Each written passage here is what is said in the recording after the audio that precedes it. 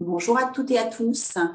Euh, mesdames, Messieurs, chers adhérentes, chers adhérents, nous sommes ravis de vous accueillir ce matin pour notre nouvelle webconférence. En cette journée du 8 mars, euh, journée mondiale du droit des femmes, nous avons intitulé notre nouvelle webconférence Levons les tabous sur les maladies gynécologiques.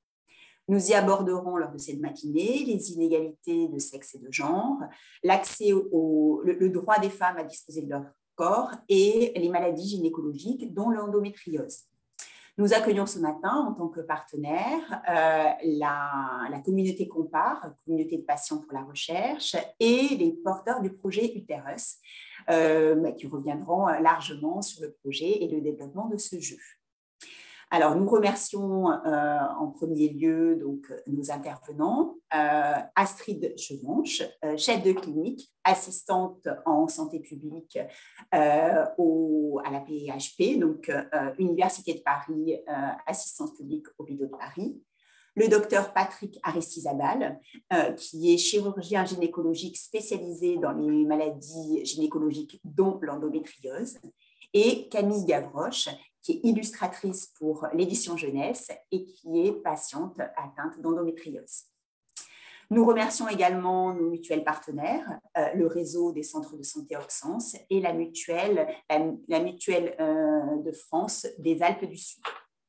Alors, avant de laisser la parole à euh, Lisa Ribaud, notre administratrice, je, voulais vous préciser quelques éléments techniques donc, nous vous demandons hein, de bien vouloir conserver vos micros fermés euh, pour euh, plus de fluidité dans l'expression des intervenants. cette webconférence est retransmise en direct et enregistrée sur Facebook et vous pourrez donc la revoir, la voir et la revoir comme vous le souhaitez.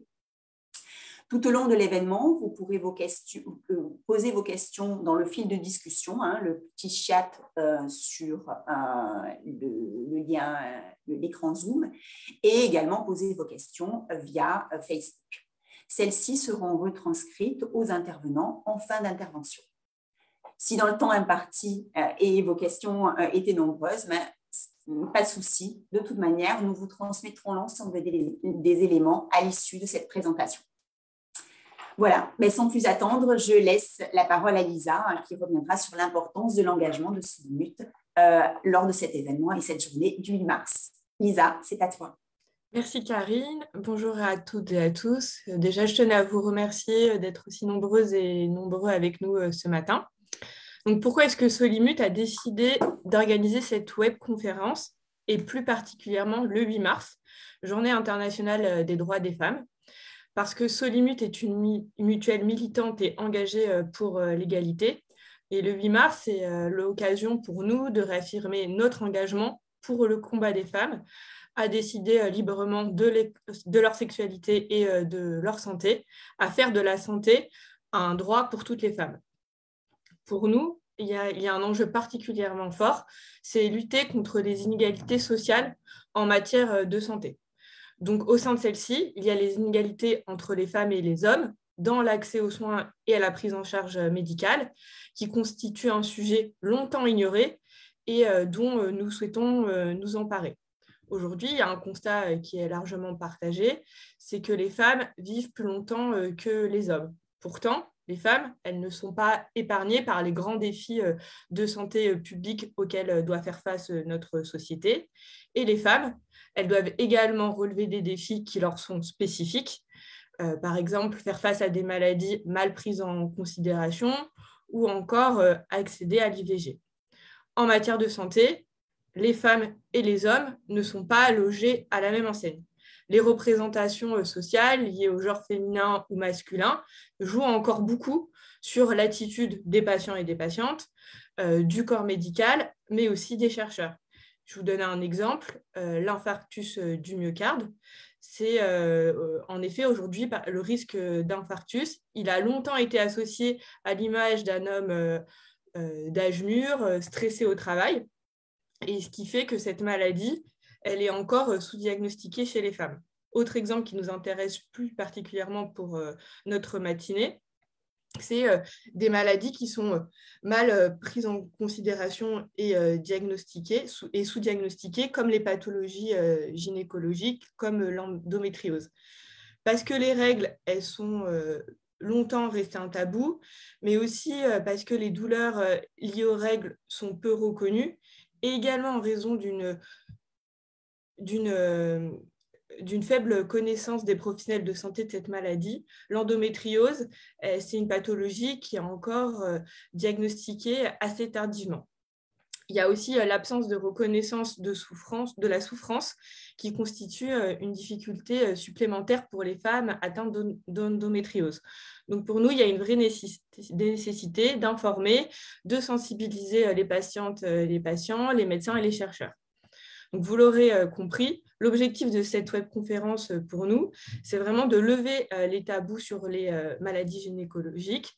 C'est une webconférence avec une visée pédagogique à l'image du projet Utterus, qui a été développé comme un outil ludique pour sensibiliser et mieux faire connaître les différentes maladies gynécologiques et sexuelles féminines. Je ne vais pas en dire plus et je vais laisser euh, la parole à Astrid euh, Chevance pour vous présenter ce projet.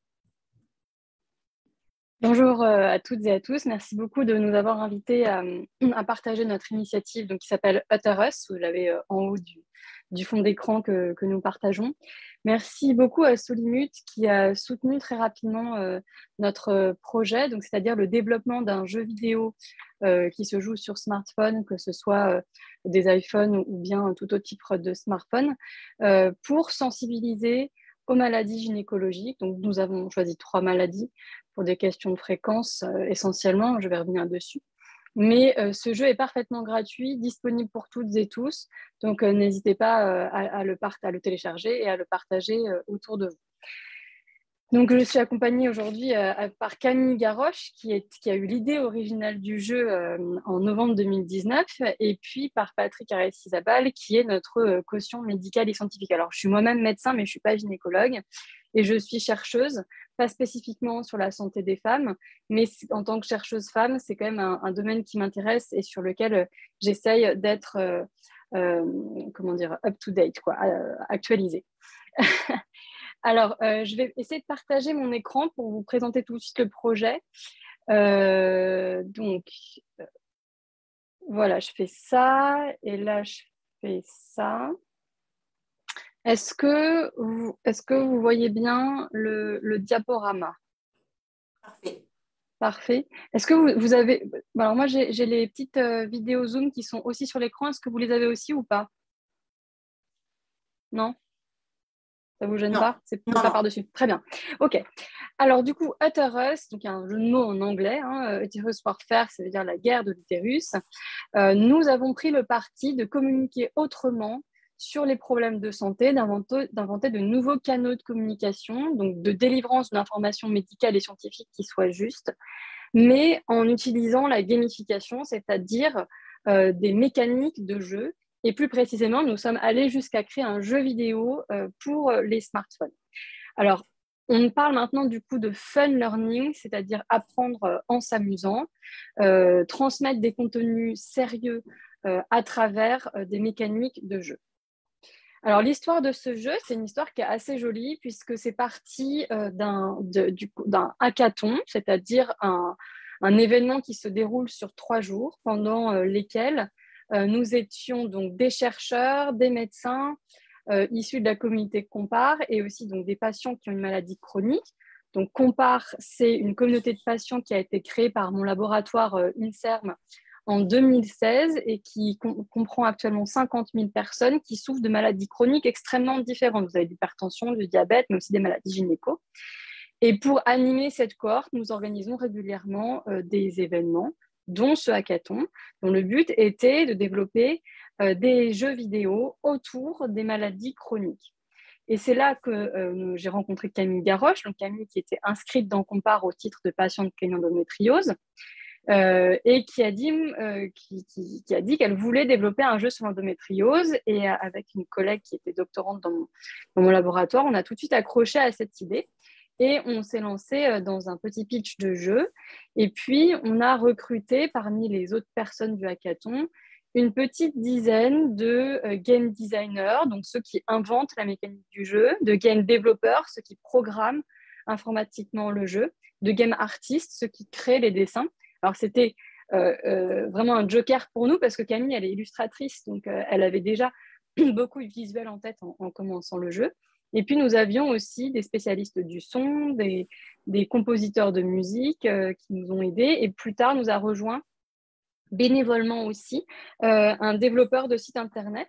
Donc, euh, vous pouvez euh, tout à fait aller sur le site internet de Utterus. On va, je ne sais pas si Camille, tu peux le mettre dans le chat, comme ça les gens peuvent cliquer dessus en même temps. Voilà.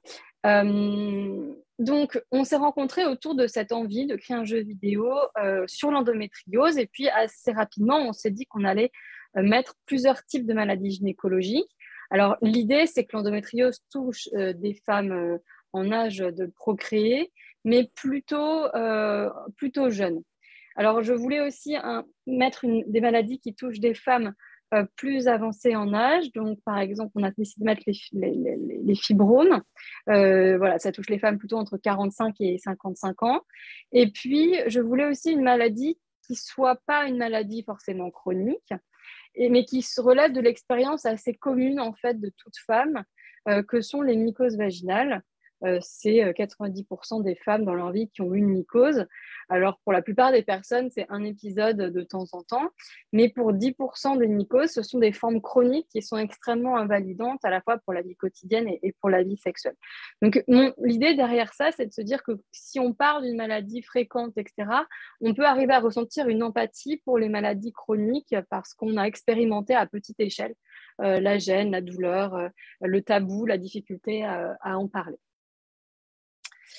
Alors, euh, donc l'idée, c'était de, se rendre compte que le corps féminin, et notamment son appareil génital, reste méconnu, voire même oublié ou occulté, et que beaucoup de femmes euh, souffrent de maladies euh, proprement donc féminines, c'est-à-dire liées à l'appareil reproducteur féminin. Donc une femme sur dix qui souffre d'endométriose, 15% des femmes de 50-54 ans qui souffrent d'un fibrome utérin et qu'il est urgent d'attirer l'attention sur la santé de ces femmes et les besoins de recherche associés. Alors ça, c'est parce que il faut bien séparer ce qui est de l'ordre du soin et ce qui est de l'ordre de la recherche.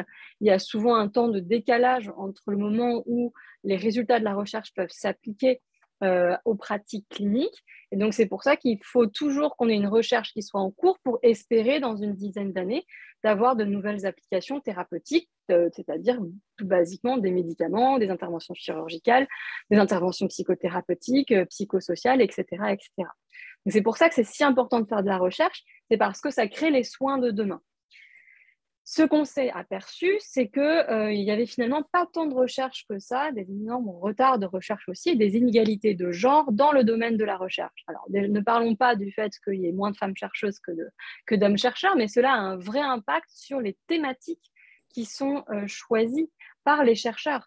C'est-à-dire que euh, si vous avez peu de femmes en recherche, bah, les, problématiques typiquement féminines ou les façons d'aborder les problèmes, de les questionner, de poser les questions de recherche, de mesurer les impacts de certaines mesures, etc., vont être, vont être différentes. Ça, ça a été montré. Alors, sur toutes ces inégalités de genre dont euh, Lisa Ribot a déjà un peu parlé, euh, je vous conseille aussi un livre qui est intéressant qui est qui s'appelle Mauvais traitement. Alors, on ne voit pas ici à l'écran parce que j'ai un fond d'écran. Donc, Mauvais traitement, pourquoi les femmes sont mal soignées, qui a été fait par deux journalistes qui s'appellent Delphine Bauer et Ariana Puccini. Qui, donc, j'ai largement participé à ce livre et c'est fondé sur des faits euh, vérifié, euh, scientifique. Donc, vous pouvez, si vous voulez avoir plus de renseignements là-dessus, euh, le lire. Ça vous expliquera pourquoi les femmes ont plus souvent des effets secondaires des traitements, parce que par exemple, elles sont moins incluses dans les, dans les thérapeutiques de certaines disciplines, et que donc les doses fixées sont plutôt des doses masculines que des doses adaptées aux femmes. Ça vous explique aussi que dans les recherches, les problématiques du corps féminin ont été moins abordées euh, historiquement et même jusqu'à très récemment que les, maladies masculines. Donc ça explique systémiquement le fait qu'il y ait ce déséquilibre actuel. Alors pour en revenir au jeu, voici euh, le pitch, c'est-à-dire en gros le scénario du jeu. Il faut soutenir un utérus. Alors l'utérus, c'est vraiment au sens métonymique, c'est-à-dire qu'on parle d'utérus, mais en fait on parle aussi du vagin, des ovaires, etc. Donc pas seulement de l'utérus. Et euh, dans l'adversité, c'est-à-dire dans toutes les maladies qu'il peut, euh, peut subir. Et votre allié, c'est la recherche médicale, puisqu'on peut gagner des points bonus qui permettent de progresser dans le jeu. Donc c'est un jeu qui est euh, très immersif, euh, un petit peu addictif. Euh, il faut, il faut concrètement, il faut taper en fait. Par exemple, là, vous avez à l'image le premier niveau, qui est le niveau des mycoses. Et donc, on a essayé vraiment de garder les planches anatomiques les plus réalistes possibles c'est un parti pris. Euh, vous avez les mycoses qui sont ces petites bestioles euh, piquantes parce que effectivement les sensations quand on a une mycose, c'est vraiment les brûlures et, les picotements. Et vous avez ces petites euh, bactéries sympathiques là qui sont le microbiote, c'est-à-dire la flore vaginale, les gentils microbes qui contribuent à l'équilibre trophique du milieu. Vous savez qu'on a du microbiote partout, sur la peau, dans la bouche, dans le ventre, mais il y en a aussi dans le vagin. Et en fait, un déséquilibre de ce microbiote peut amener à la prolifération de mycoses c'est un jeu qui est vraiment militant et engagé, euh, puisqu'on transfère euh, un savoir scientifique et médical à euh, des populations qui sont assez loin de, cela. Et notamment, on a visé ce support pour toucher les femmes les plus jeunes. parce que bah, Patrick et Camille expliquent mieux que moi, mais on, se rend compte qu'il y a sept ans de délai entre les premiers symptômes de l'endométriose et le diagnostic qui est posé, donc des retards diagnostiques qui sont euh, extrêmement important. Et en touchant les femmes jeunes, en les sensibilisant à l'existence de ces maladies dès leur plus jeune âge, on est probablement plus euh, efficace sur le fait qu'elles aillent oser euh, demander des soins ou parler des problèmes qu'elles peuvent rencontrer. Donc, premier, premier niveau sur les mycoses. Deuxième niveau sur l'endométriose. Donc, Camille et Patrick parleront plus largement. Troisième niveau du jeu sur le fibrome. Alors, j'ai une petite démo, donc je vais euh, mettre tout de suite, euh, voilà, on va, mettre, on va se mettre tout de suite ici. Donc, chaque niveau est présenté par une petite, euh, un petit personnage qui explique un peu de, quoi elle souffre. On vous propose la règle du jeu. Et puis ensuite, voilà, vous devez taper, donc c'est votre doigt qui tape hein, sur l'écran pour détruire. Alors, vous voyez, dans l'esthétique choisie, c'est une esthétique agressive et violente parce que l'idée n'est surtout pas euphémiser, en fait, c'est la violence de la maladie la violence des maladies et puis la violence de certains traitements aussi, puisqu'effectivement, euh, souvent, bah, c'est un euh, un mal pour un bien. Euh, voilà, je peux avancer pour vous montrer ce niveau sur l'endométriose. Donc, vous voyez, cette petite tête explique un peu de façon tout à fait vulgarisée en reprenant des propos de patiente ce qui lui arrive. Vous entrez dans le niveau, vous jouez quand vous gagnez, euh, vous avez, ou que vous gagnez ou vous perdez, vous avez accès à des explications beaucoup plus détaillées, en savoir plus, qui sont vraiment par, cette fois-ci euh, dans un langage un peu plus, euh, un peu plus expert pour avoir plus de renseignements sur la dite maladie. Donc voilà, l'endométriose qui peut faire des plaques dans l'utérus, mais aussi sur les organes extérieurs à l'utérus et causer de très grandes souffrances. Et puis le dernier niveau, je vais voir si je peux. Non, je ne sais pas s'il si est accessible sur les. Non. Donc là, vous voyez, quand vous, collectez des, points pour la recherche, vous pouvez être plus efficace en fait dans le fait que vous euh. Alors, ce jeu, on l'a fait avec la communauté Compare. Donc, euh, je vous dis un mot sur la communauté Compare. Si vous souffrez d'une maladie chronique, et 38% de la population en France souffre d'une maladie chronique, hein, donc euh, hypertension, hypothyroïdie, euh, dépression, troubles anxieux, endométriose, etc., vous pouvez vous inscrire gratuitement sur Compare, qui est une initiative de la PHP de l'Université de Paris. Donc, la PHP, c'est les hôpitaux de Paris. si vous n'êtes pas parisien, vous pouvez aussi vous êtes invité à vous inscrire. Et concrètement, vous donnez un peu de temps pour faire avancer la recherche sur les maladies chroniques. Ça demande à répondre à un petit questionnaire par mois qui doit prendre 10 minutes en fonction de, votre maladie. Le principe, c'est de faire des cohortes, c'est-à-dire de suivre des personnes sur plusieurs années pour voir l'évolution de, ces maladies. Alors, sans plus tarder, je vais passer euh, la parole euh, à, mes collègues, mais avant, je veux quand même souligner le fait que c'était une aventure collective avec euh, beaucoup, beaucoup de participants qui ont donné de leur temps bénévolement. On a, été, on a fait ça donc avec Compare, la communauté de patients, et Endomaine, qui est une association d'endométriose, et bien sûr Solimut, qui nous a soutenus euh, dans notre capacité à pouvoir communiquer autour de ce jeu, et d'autres partenaires qui ont fait du mécénat d'entreprise ou qui ont contribué un peu euh, financièrement à aider le développement de Terres. Voilà, merci beaucoup. Donc, euh, peut-être je vais passer d'abord la parole à, Camille. Euh, je vais arrêter de partager l'écran, sauf si tu me demandes, Camille, de revenir spécifiquement sur certaines images, ou Patrick. Euh, Camille, donc, toi, tu es, tu es une personne concernée par l'endométriose. Est-ce que tu peux nous dire en quelques mots quel a été ton parcours de santé et notamment à quel moment tu, sont apparus en fait tes premières désagréments, voire douleurs de l'endométriose, et à quel moment tu t'es dit que c'était peut-être une maladie et que ce n'était pas normal? Euh, bah, Bonjour tout le monde. Euh, bah, alors du coup, euh, moi j'avais mal, bah, le truc classique, j'avais mal pendant mes règles. Et, mais j'avais vraiment mal, quoi. Et puis on me disait, mais non, mais c'est normal. Et puis j'ai fait tout un tas d'échographies parce que mon médecin généraliste, c'était pas ma gynéco, était inquiet, en fait. Et il m'avait euh, fait tout un tas d'échographies avant les règles, pendant les règles, après, pour essayer de voir. Donc, il était sur le. Euh, c'était une bonne idée, mais en fait, à l'échographie, les gens voyaient rien du tout. Ils me disaient, mais non, tout va très bien. Et puis, il me souriait, bon, bah voilà, tout va très bien, mademoiselle. Et je disais, mais non, ça va pas, en fait. Il y a un truc qui est pas normal. Et, donc, je me suis sentie assez seule. Et donc, sept ans après, euh, j'ai fait une crise, mais vraiment, euh, donc là, ce n'était pas du tout pendant les règles d'ailleurs. J'ai fait une crise terrible où on a cru que j'avais l'appendicite. Et j'ai vraiment failli être euh, opérée de l'appendicite. J'ai même rencontré la, chirurgienne qui allait m'opérer. J'étais allongée comme ça, elle me parlait. Et puis en fait, on s'est dit, bah non, en fait, c'est pas ça. On n'a toujours pas compris ce que c'était. Et puis quelques jours plus tard, en fait, c'est une interne qui m'a posé les bonnes questions, des questions très spécifiques. Euh, qui, m'ont étonnée d'ailleurs. Est-ce que vous avez mal euh, quand vous allez à la salle Est-ce que vous avez mal quand vous urinez? Après des rapports, des questions très précises comme ça.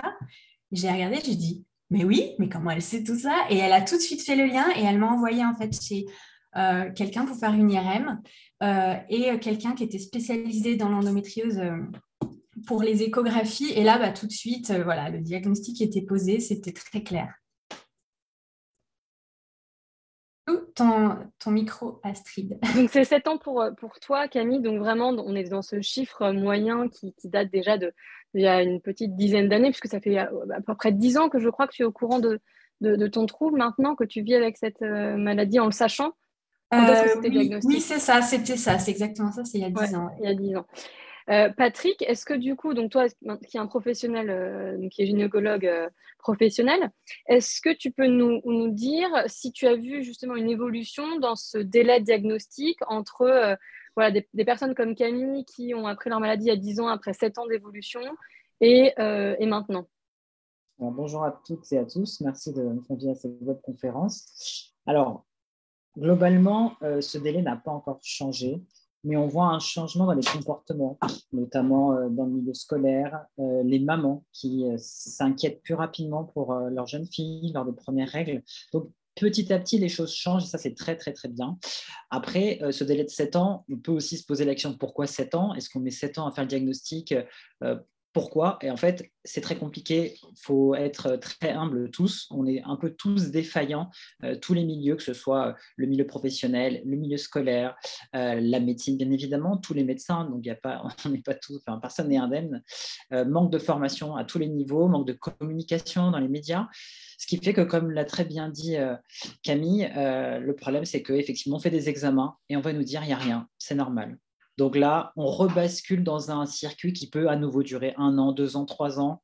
On est seul, on se questionne, on se dit mais pourquoi personne ne comprend? C'est j'ai un problème, euh, les médecins disent que j'ai rien et ça va durer jusqu'à une nouvelle crise. C'est exactement l'histoire, mais c'est ça, hein, c'est typique, mais c'est la réalité.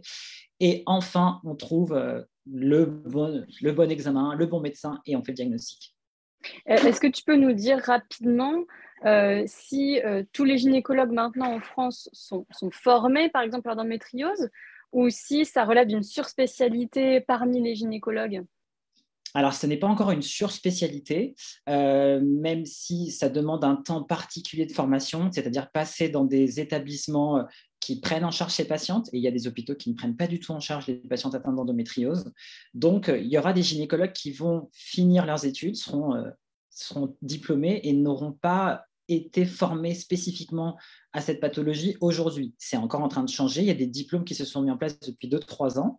Euh, donc maintenant, on va dire que la formation est, disponible, accessible, et de plus en plus de médecins généralistes, euh, de sages-femmes, de gynécologues euh, s'inquiètent de cette maladie, veulent se former et sont de plus en plus performants. Donc il y a beaucoup de choses positives, heureusement. Hein. On est en train de monter en compétences, les radiologues, tous les, tous les médecins, toutes les spécialités qui peuvent intervenir ont pris le problème à bras le corps et sont conscients qu'il faut qu'on s'améliore tous. J'ai une autre question pour Camille, du coup, c'est plus cette fois-ci sur le vécu de la maladie par rapport aux tabous sociaux, l'aspect stigmatisant en fait hein, des maladies gynécologiques. Euh, je discutais récemment avec une, actrice qui euh, était atteinte du cancer du col de l'utérus.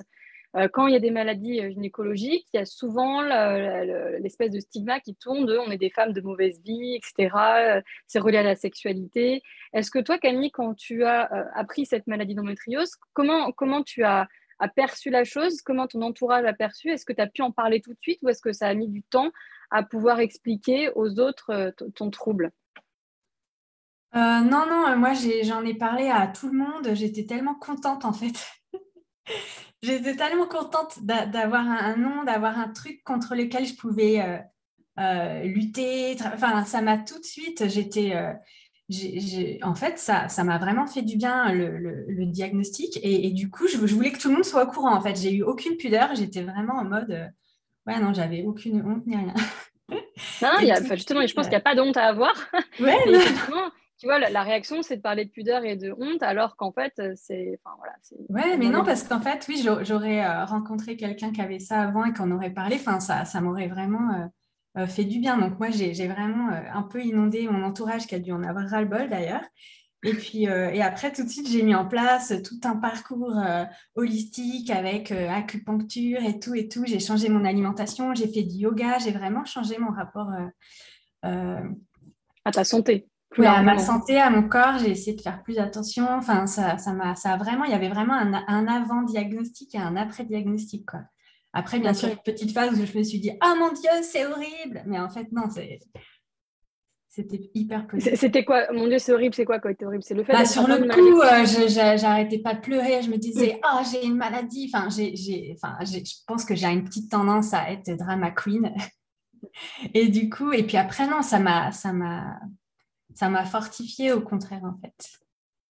Oui, alors en effet, ça, c'est quelque chose en, tant que médecin qu'on voit. Effectivement, c'est toujours délicat d'annoncer une maladie chronique à, quelqu'un, hein, puisque on, lui explique que ça risque de durer très longtemps, de s'inscrire dans le temps, qu'on n'est pas forcément capable de décrire la trajectoire, qu'on n'est pas forcément capable de proposer le bon traitement au bon moment. Donc, euh, c'est pas forcément euh, être drama queen que de réagir comme ça. C'est vraiment c'est un changement psychologique. Alors moi, je suis psychiatre de formation, donc je, un peu, je rentre un peu dans ma spécialité. Quand on apprend comme ça, c'est sa vision du futur, sa capacité à se projeter, la définition de son identité, de ce que l'on est, des projets qu'on pouvait avoir qui entrent en, compte. Et, je suppose que, pardon, tu veux dire quelque chose? Oui, non, en fait, je voulais juste dire que moi, le, médecin qui me l'a annoncé, euh, il, euh, voilà, c'était vraiment des gros sabots qu'il avait. Quoi. Déjà, dès le début, il m'a dit euh, ah, bah, c'est Madame Machin qui vous envoie. Oh, vous parlez d'un cadeau. Déjà, il m'a dit ça, donc super.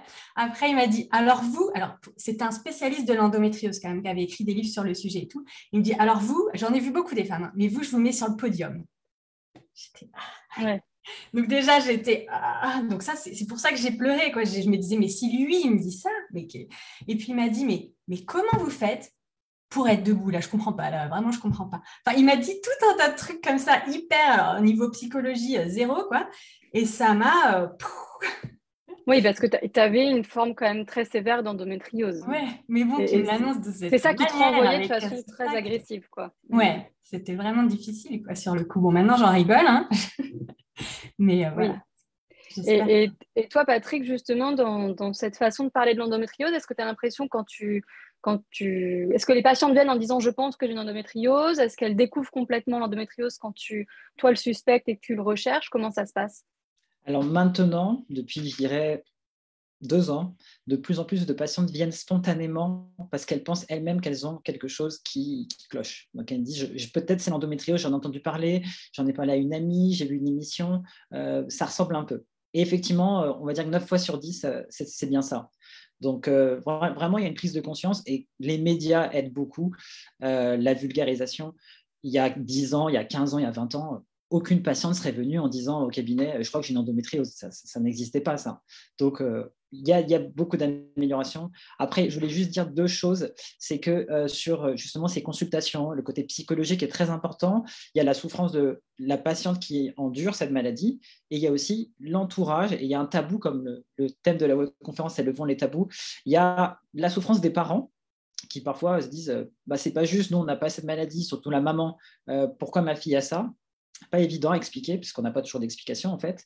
Et il y a la souffrance du conjoint, du mari, de, la partenaire, qui fait que c'est compliqué, ça a un impact sur la vie intime. Donc c'est beaucoup de souffrance au-delà euh, de la douleur qu'endure la personne. Ça, voilà, ça a trait à beaucoup d'aspects de la vie quotidienne euh, sur beaucoup de domaines, social, professionnel, euh, intime. C'est très complexe comme maladie. Merci. Je, je, souhaiterais qu'on parle un peu aussi peut-être des fibromes, euh, parce mhm. que effectivement notre jeu euh, parle plus largement des maladies gynécologiques que, de l'endométriose. Alors Patrick, est-ce que tu peux expliquer en, deux trois mots, puisqu'on a un peu raconté ce que c'était que l'endométriose, est-ce que tu peux expliquer en deux trois mots ce, que sont les fibromes, qui est-ce que ça touche et quels sont les, les symptômes qui doivent alerter et faire consulter? Alors, les fibromes utérins sont des tumeurs bénignes, donc ce ne sont pas des cancers, sont très fréquents. Euh, on peut différencier deux, types de maladies. Les femmes qui vont développer des tumeurs très jeunes, donc euh, dès 20-25 ans, euh, là, c'est plus rare, on va dire. Il y a une part ethnique on trouve qu'effectivement, les patients d'origine africaine vont être plus touchés que d'autres. par contre, les femmes après 40 ans, là, ça touche toutes les ethnies et c'est très fréquent. ce qui doit alerter deux types de symptômes soit les saignements, règles hémorragiques ou saignements en dehors des règles et plutôt abondants, euh, soit une masse abdominale. Vraiment, on prend du ventre, on a le ventre vraiment une masse dure au niveau du ventre et il n'y a pas de grossesse bien évidemment. Et donc, euh, ça peut prendre cette forme-là aussi. Donc, il y a des, fibromes qui peuvent être très volumineux. Et donc, les traitements à ce moment-là, ça va être essentiellement la chirurgie la plupart du temps euh, pour ces formes très sévères. Oui, et c'est une chirurgie si je me rappelle bien de mes cours de médecine, qui euh, est de plus en plus conservatrice. Auparavant, on faisait une hystérectomie assez facilement. Et maintenant, on essaye de préserver l'utérus, c'est ça? Exactement. Il y a aussi des traitements euh, non invasifs avec la radiologie qui permettent d'être conservateurs. Donc, on bouche les vaisseaux qui nourrissent euh, l'utérus et ses fibromes pour essayer de les réduire de taille. Voilà, dans certains cas, on peut utiliser cette technique-là. Donc, on, s'améliore et on, fait moins de traitements radicaux et lourds, heureusement. Ok. Ben, euh, il est déjà 10h32. Alors, je ne sais pas, on voulait garder un, comme un temps de discussion euh, et je vois qu'il y a pas mal de questions euh, dans le chat. Peut-être, Karine, qu'on peut, on peut, on peut, on peut, conclure. Donc, n'hésitez pas à poser les questions à Camille, à Patrick ou à moi-même. Et puis, merci encore de nous avoir permis de présenter notre initiative aujourd'hui. Merci à Solimut de nous avoir fait confiance et de nous avoir soutenus dans ce projet. Effectivement, il y, a un certain nombre de questions, donc je pense qu'on va pouvoir les, aborder une par une. Euh, alors, la première question, quelles sont les pathologies gynécologiques qui ont un impact sur la fertilité et la maternité? Alors, justement, euh, l'endométriose et les fibromes utérins peuvent avoir un impact sur la fertilité. Il faut bien faire la différence entre être atteint de la maladie et avoir vraiment une infertilité. Et c'est vrai que c'est la première question qui arrive, surtout pour l'endométriose. Dès que le diagnostic est tombé, le premier réflexe, c'est de se dire bah, je n'aurai pas d'enfant, ça va être compliqué. C'est normal d'avoir cette, euh, cette, inquiétude, mais... Oui, d'ailleurs, excuse-moi Patrick. Oui, justement, moi, quand Astrid m'a demandé tout à l'heure, quand j'ai eu le, euh, la nouvelle, euh, ça, ça m'a pas inquiété parce que j'avais déjà une fille donc, je, voilà, j'avais, on va dire, un truc énorme en moins, euh, oui. une inquiétude en moins. Donc, effectivement, euh, l'inquiétude, elle est toujours présente.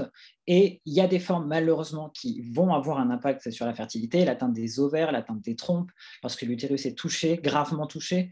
Mais ce n'est pas euh, systématique. Il y a des lésions volumineuses qui épargnent tous ces organes euh, et qui sont de l'endométriose et euh, très invalidantes, notamment au niveau des nerfs, des nerfs sciatiques, des douleurs au niveau des jambes, des douleurs mais très importantes. Et l'utérus est épargné, les ovaires, les trompes sont saines. Donc, il peut y avoir euh, aucun souci pour une grossesse spontanée.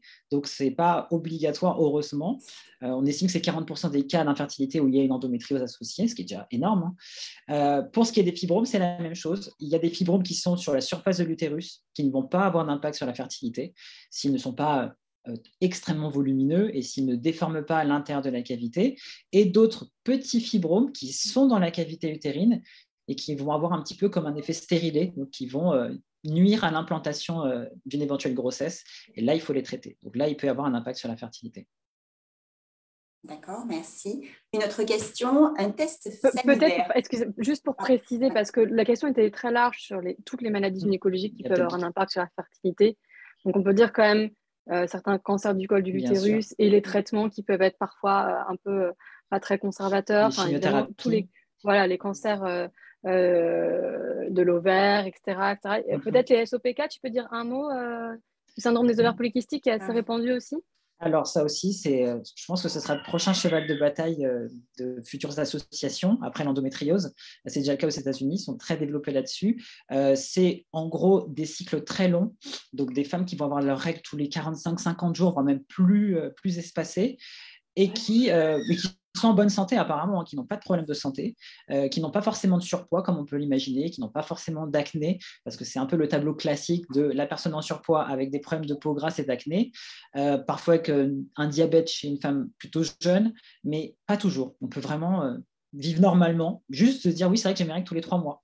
Et lorsqu'on veut tenter une grossesse, bah, ça marche pas. Et donc là, on se dit, zut, qu'est-ce qui se passe? On fait un bilan hormonal et on se rend compte qu'effectivement, il n'y a pas d'ovulation. Ça se traite, ça se prend très bien en charge euh, avec les techniques de PMA, parfois non invasives, c'est-à-dire pas obligé d'aller jusqu'à la fécondation in vitro, mais euh, déjà faut-il avoir le diagnostic. Et c'est une maladie chronique avec des règles d'hygiène derrière, donc justement pour éviter tout ce qui est diabète plus tard, euh, des règles de perte de poids, de, sportive, mais ça peut avoir un impact effectivement très lourd et il y a des patients qui ont des formes sévères avec des douleurs, des ovaires augmentés de taille, des microkystes. Euh, mais c'est une maladie complexe avec plusieurs formes de présentation différentes. Euh, et j'espère que petit à petit, pareil, c'est une maladie que, sur laquelle on communiquera plus qu'actuellement. Je pense qu'on peut peut-être aussi dire un petit mot sur les infections sexuellement transmissibles et, celles qui peuvent avoir un impact directement sur la fertilité, comme le chlamydia. Donc, euh, enfin, le chlamydia, c'est une maladie dont on parle extrêmement peu et qui pourtant euh, peut vraiment être euh, très délétère, qui ne fait pas forcément très souffrir sous le moment où on l'attrape. On peut même avoir des formes non symptomatiques et c'est ça justement qui fait le, problème de cette maladie. Alors, je vais rebondir là-dessus. Effectivement, chlamydia, c'est une maladie qui peut être asymptomatique, euh, assez stigmatisante quand on, découvre cette maladie. Tout de suite, ça fait appel à euh, voilà, une tromperie, relation extra-conjugale, euh, qui a fait quoi, pourquoi j'ai ça. Donc c'est compliqué. Effectivement, c'est une maladie euh, liée aux relations sexuelles qui se traite très bien pris le plus tôt possible. Sinon, il peut y avoir des séquelles, notamment des adhérences, donc les organes qui se collent entre eux, les trompes qui peuvent être bouchées. Donc, ça peut avoir un impact sur la fertilité si ce n'est pas pris en charge. Et malheureusement, comme c'est parfois symptomatique, on se rend compte tardivement. je voulais faire un parallèle avec une autre maladie très fréquente, encore beaucoup plus fréquente, qui est le papillomavirus. Donc, on parlait tout à l'heure de cancer du col de l'utérus. L'HPV, donc euh, le papillomavirus, ça aussi très stigmatisant. Euh, les personnes ne comprennent pas quand on leur découvre euh, ce test positif. Elles se disent, mais pourquoi j'ai ça? Donc, s'il y a un message à retenir, c'est que c'est un marqueur d'activité génitale. Ça veut dire qu'en gros, à partir du moment où on a eu des rapports sexuels, on sera positif, hommes et femmes confondus, au papillomavirus. Au bout de deux partenaires dans sa vie, c'est quasiment systématique, ça a bien été démontré. Sauf qu'on va guérir en fait de cette infection et certaines personnes vont garder ce virus dans leurs sécrétions et donc là, il y a la maladie qui peut se développer, d'où les frottis pour le dépistage.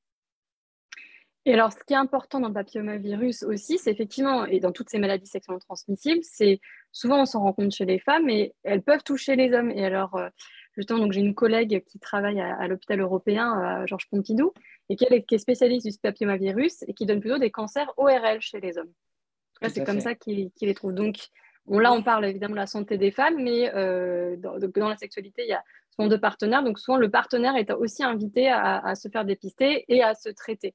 C'est par exemple le cas des, mycoses dont on parlait tout à l'heure. C'est vrai que quand il y a des mycoses à répétition, etc., il faut euh, penser au partenaire qui, lui, peut être totalement asymptomatique, mais recontaminer en fait euh, la femme régulièrement. Tout à fait. Allez-y, Karine, du coup, pour une autre question. Alors, un test salivaire pour détecter l'endométriose a été ou va être, mis au point. Qu'est-ce que représente cette avancée dans la prise en charge des patientes et plus généralement, où en est-on de la recherche sur ce sujet? Alors, je peux essayer de répondre un petit peu à cette question. Donc, c'est extrêmement récent. Euh, aujourd'hui, ce n'est pas encore disponible pour tout le monde. Euh, c'est en discussion avec euh, les caisses d'assurance maladie pour tout ce qui est prise en charge, remboursement. Mais ça devrait arriver le plus vite possible, on espère, deuxième partie de 2022 après l'été. Ça va permettre de faire le tri en fait entre plusieurs patientes, celles qu'on suspecte, surtout quand elles sont jeunes, qu'elles soient prises en charge extrêmement tôt pour éviter d'arriver sur des stades trop avancés de la maladie. Donc ça, c'est fondamental. et on va peut-être pouvoir mieux comprendre certaines formes euh, de maladies. Donc, pour l'instant, c'est que le début, mais c'est fondamental, c'est extraordinaire comme avancée. Donc, plein d'espoir, mais euh, attendons de voir comment on peut l'insérer dans un parcours de soins, dans une stratégie euh, de dépistage, de diagnostic. C'est encore un petit peu tôt pour, pour se prononcer. Et alors, c'est basé sur, sur quoi le test salivaire? Est-ce qu'on sait qu'est-ce que ça mesure? C'est-à-dire qu'il y a des marqueurs dans la salive qui montrent qu'on a l'endométriose C'est des, il me semble que si j'ai bien lu, c'est des Sur l'ARN. Oui, ouais. c'est ça, exactement. D'accord. on en parle tout le temps, on parle avec les vaccins euh, du Covid, mais effectivement, encore ce fameux ARN qui va rendre des services.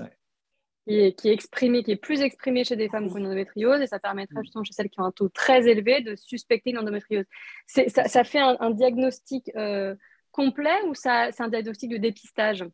C'est-à-dire que si on fait le test, il faut quand même avoir un faisceau d'arguments ou le test suffit a priori honnêtement, pour l'instant, je ne suis pas en, enfin, en, capacité de répondre à cette question parce que je ne sais pas vraiment. Euh, ça vient de sortir et je n'ai pas, pas toutes les données pour. Là, pour l'instant, ça me dépasse un petit peu. Il me semble que, alors pour le coup, c'est un peu la spécialité en, santé publique de, fabriquer ce type de test. Il aurait une sensibilité de 96%. Ça veut dire la sensibilité, il est capable de détecter la maladie quand elle, est présente à 96%, ce qui, est ce qui est très bien. Hein pour un test de, dépistage. Ça veut quand même dire qu'il y a des personnes qui seront faux négatifs. Ça veut dire qu'ils vont vraiment une endométriose, mais qui échapperont à ce test et que donc là, mhm. effectivement, un avis de clinicien, une lecture du test par le clinicien, etc., euh, est intéressante. Euh, concernant la spécificité, je ne l'ai pas. Et la spécificité, elle, elle est très nécessaire aussi parce qu'elle permet de dire est-ce que si, des, si on a un test positif, est-ce que c'est vraiment une endométriose ou est-ce que ça peut être autre chose? C'est-à-dire euh, des faux positifs. On serait positif, mais on n'aurait pas vraiment la maladie. Donc ça, c'est mhm. vraiment, c'est comme ça qu'on décide ensuite si un test suffit ou s'il faut le combiner avec d'autres types d'examens euh, pour euh, avoir l'assurance que c'est bien ce trouble dont on parle. Actuellement, le diagnostic, il est fait comment? Alors, actuellement, alors, pour dire d'où on part, avant, il fallait faire une opération. Il fallait faire une célioscopie, mettre une petite caméra à travers le nombril pour visualiser les lésions, les prélever et avoir l'analyse par le tissu, donc au laboratoire, un médecin qui voit sur son microscope et qui dit c'est de l'endométriose. Ça reste la référence, le tissu qui dit c'est de l'endométriose, mais aujourd'hui, enfin depuis pas mal d'années, on n'a pas besoin d'aller jusque-là pour affirmer qu'il y a une endométriose. C'est un faisceau d'arguments entre ce que raconte la patiente ce que l'on voit sur les imageries, échographie IRM, et ce que l'on sent lors de l'examen physique. Donc, avec ces trois paramètres, on arrive à approcher euh, le diagnostic dans euh, la plupart des cas. Mais il y a toujours des cas difficiles, et c'est peut-être aussi dans ces cas-là où il y aura un intérêt avec le test salivaire pour trier euh, ces cas les plus, les plus complexes, en fait. Et il y aura un, âge où ce test pourrait être, où c'est à toutes les femmes qui, sont susceptibles d'avoir une endométriose Je ne sais pas. Mais oui, ça pourrait être fait extrêmement jeune, ça pourrait être fait euh, dès les premières règles, comme ça pourrait être fait chez des personnes qui commencent à être symptomatiques et avoir euh, des signes d'alerte, on va dire. Alors, autre question, quel lien peut-on faire entre santé environnementale, perturbateurs endocriniens euh, et... Ah, excusez-moi, j'ai une question. Et les maladies gynécologiques. Et les maladies gynécologiques, pardon. Comme endométriose, ovaire polycystique, ah. etc. Alors, pour ce qui est des perturbateurs endocriniens, il y a pas mal de littérature là-dessus. Euh, c'est fortement probable, même si on n'identifie pas exactement euh, quels sont les, euh, les toxiques qui, qui provoqueraient ces, ces maladies. Mais c'est vrai qu'au niveau épidémiologique, on voit de plus en plus ces cas qui augmentent. Alors bien sûr biaisés parce que les performances diagnostiques augmentent également, donc c'est normal qu'on fasse plus de diagnostics qu'avant. Mais c'est vrai qu'on voit qu'environnementalement, il se passe quelque chose selon les, endroits aussi.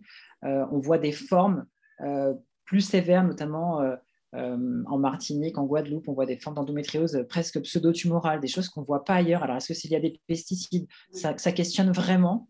Euh, donc oui, certainement, mais on ne sait pas encore quoi et pourquoi et comment et quelles sont les populations qui ont été touchées.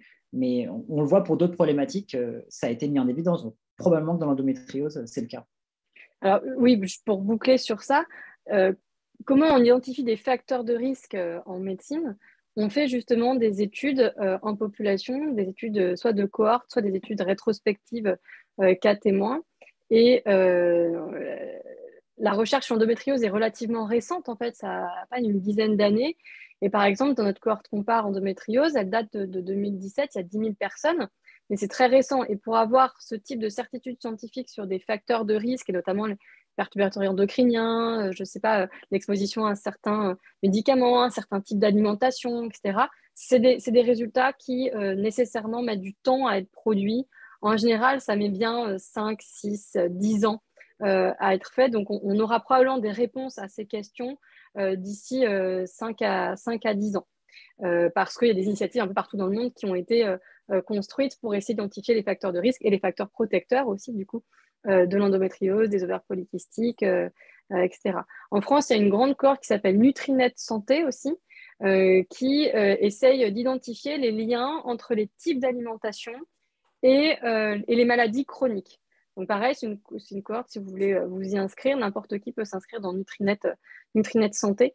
Et ça permet, pour tout type de maladie, d'identifier euh, notamment euh, les, additifs qui poseraient problème, les conservateurs, etc., dans l'alimentation.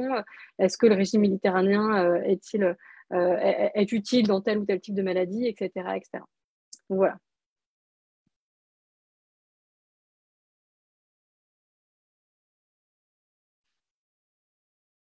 Une nouvelle question. Alors, oui, quels sont les principes de déroulement de consultation de l'endométriose? Est-ce que l'avortement clandestin en dehors des conditions peuvent conduire à une endométriose?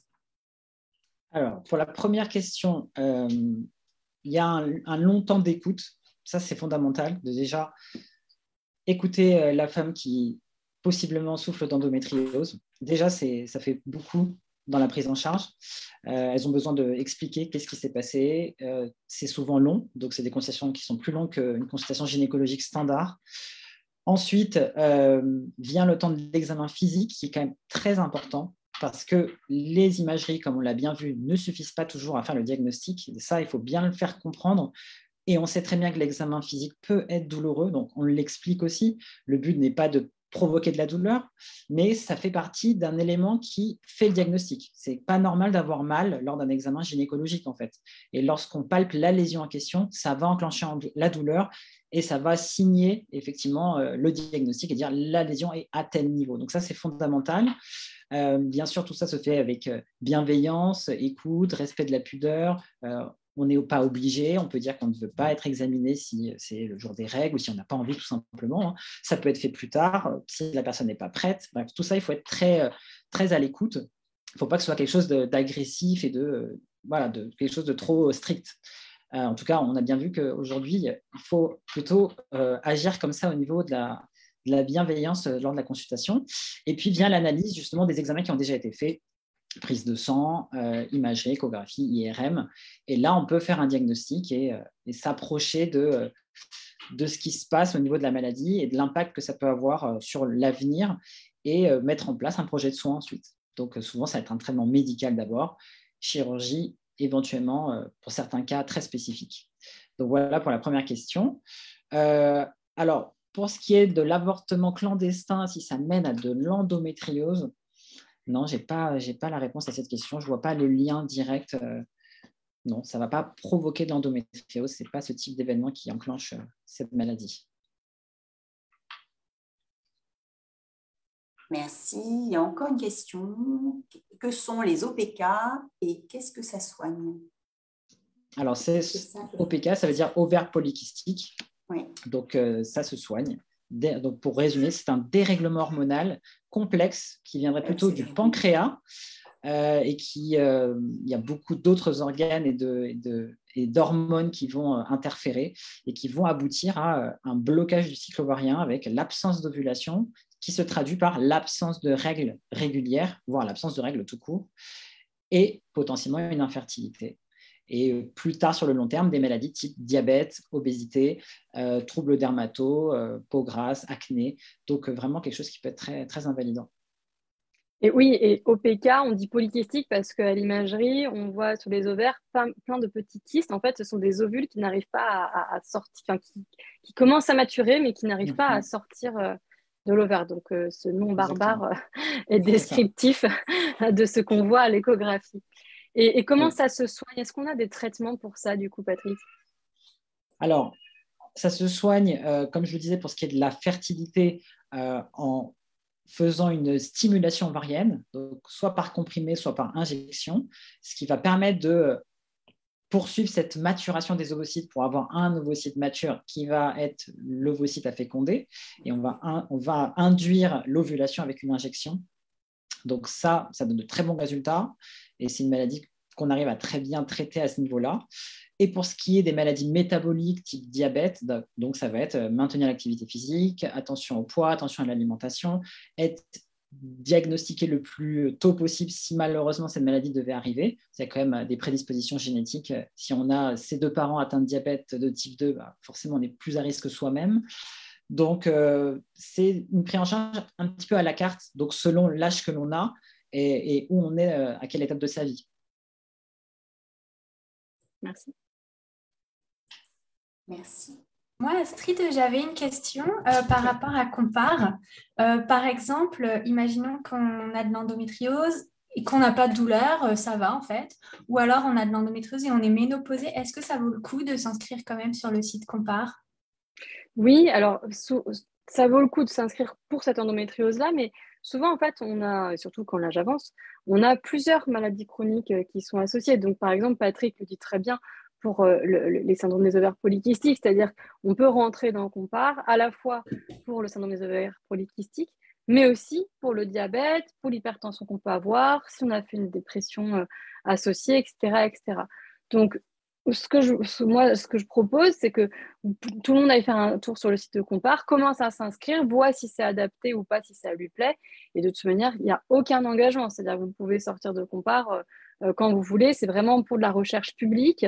Euh, on, ne, on, ne, conduit des recherches que sur fonds publics, c'est-à-dire qu'on n'est pas du tout financé par des laboratoires pharmaceutiques ni rien. Les données ne sont pas revendues parce qu'on voit quand même fleurir récemment pas mal d'initiatives qui ressemblent à Compare. On est des communautés de patients, de l'entraide, des MOOC, etc. Et en fait, c'est fait par euh, des, soit des industriels, soit des startups qui derrière en fait se financent sur la revente des données de santé que vous allez pouvoir euh, rentrer euh, dans leurs applications.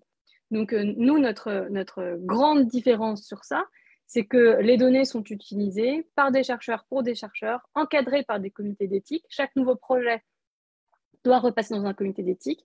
Dès qu'on vous propose un nouveau projet de recherche, vous pouvez ou donc donner votre consentement. Euh, vous pouvez demander à ce qu'on efface vos données, évidemment, pour être compliant avec le RGPD. Euh, donc voilà, c'est hyper transparent et c'est vraiment, euh, de même que certaines personnes peuvent donner de temps en temps un peu d'argent pour la recherche. Là, en fait, on propose aux personnes atteintes de maladie chronique de donner un peu de temps et partager leur expérience de leur maladie pour faire avancer la recherche sur ce sujet. Vous avez bien fait de le préciser. Encore une question, j'ai entendu parler de dystrophie ovarienne. Euh, est-ce que c'est la même chose que les, les SOPK Oui, c'est un terme euh, plutôt euh, de radiologue. lorsque l'on voit des ovaires un petit peu gros, avec un petit peu trop de kystes, mais qui ne remplissent pas tous les critères, parce que c'est très encadré pour pouvoir poser le diagnostic de syndrome des ovaires micropolykystiques. Donc, c'est pour dire qu'il y a une tendance, il y aurait peut-être cette question derrière de syndrome des ovaires polykystiques. Donc, on peut voir effectivement le terme dystrophie ovarienne sur certains comptes rendus. Ça peut évoquer cette maladie. Parfait, merci. Je pense que nous n'avons plus de questions. Bah, écoutez, on est pratiquement arrivé euh, au terme de notre web conférence. En tout cas, on vous remercie euh, vraiment euh, très chaleureusement hein, de la qualité et de la richesse de vos interventions et des informations hein, nourries que vous avez bien voulu nous transmettre. écoutez, on est ravis. Hein, donc, on remercie Astrid, on remercie Patrick et on remercie Camille. On remercie aussi Lisa, euh, notre administratrice, hein, pour son intervention sur la thématique. Donc, vous l'aurez compris, hein, euh, les choses ont évolué, mais euh, les femmes et les hommes restent encore assez inégaux devant la maladie, hein, et d'où l'importance effectivement de la recherche médicale et de l'investissement que l'on va apporter à cette recherche médicale sur les maladies féminines. même si effectivement il y a quelques avancées significatives et vous avez pu le souligner. Euh, donc, pour conclure, le service prévention de Solimutuelle Mutuelle de France vous remercie d'avoir assisté à cette webconférence. On va vous euh, transmettre dans le chat le lien vers une enquête de satisfaction. Euh, on, vous demande hein, d'exprimer le ressenti de voilà votre ressenti et puis de savoir si cette webconférence a, a correspondu à vos attentes et à vos questionnements. Donc, le lien euh, va apparaître dans, le chat. Euh, pour celles et ceux qui nous, qui nous suivent sur Facebook, et si vous souhaitez effectivement recevoir les questions, les euh, la présentation et participer effectivement à notre enquête de satisfaction, vous pouvez nous adresser un mail à atelier au pluriel prévention, donc A-T-E-L-I-E-R-S, prévention P-R-E-V-E-N-T-I-O-N, tout attaché, solimu.fr et on vous enverra tous les éléments. Voilà. Si vous n'avez pas pu voir, euh, vous pouvez revoir euh, cette webconférence donc euh, sur Facebook et votre mutuelle qui a cœur hein, de prendre soin de toutes et tous et de vous accompagner tout au long de votre vie pour votre maintien en votre santé, bah, vous donne rendez-vous très prochainement pour une autre thématique santé. Voilà, bonne fin de journée, prenez soin de vous, merci beaucoup.